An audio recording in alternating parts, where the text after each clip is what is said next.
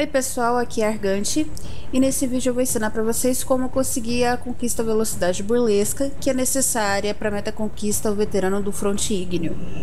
Para que você possa fazer essa conquista, você precisa pegar uma missão chamada o chamado da revoada, que pode aparecer numa é, no dia para você nas missões do santuário de Malorne, mas não é garantido que ela possa aparecer todos os dias.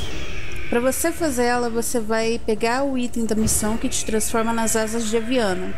E com as asas de Aviana, você vai precisar emitir um som que atraia os passarinhos próximos a você para poderem te acompanhar.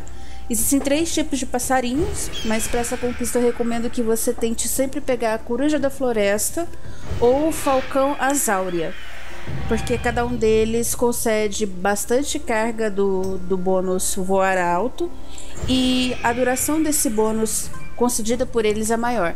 Então o que você precisa fazer é pegar algumas corujas e alguns falcões.